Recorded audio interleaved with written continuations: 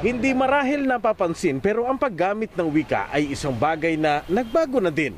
At may ilan na medyo hirap makisabay sa pagbabago. Dito namin asa na yun, naintindihan ko pero hindi ko tanggap yon kasi bilang Pilipino ka, puro Tagalog. Kasi sa Amerika, sa Japan, kung magsalita sila walang halong Tagalog. May punto si Tatang. Eh bakit nga naman hindi hapon kung hapon at Ingles kung Ingles? Eh kayo ba ma'am? Ano ba tingin niyo problema ng kabataan?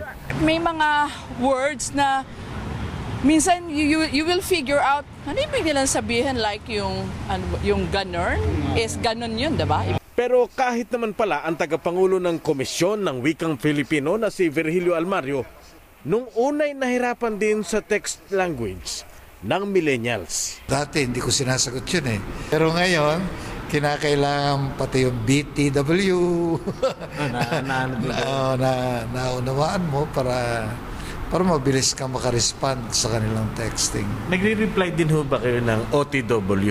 Oo, oo. Nagre-reply din kayo? Ganon, kailangan. oo. National Artist for Literature si Virgilio Almario na chairman din ng National Commission on Culture and the Arts. Kung tutusin, dapat mahigpit siya sa paggamit ng wikang Pilipino. Pero bilang punong tagasuri ng wikang Filipino, wala siyang nakikitang masama sa pagbabago sa wika.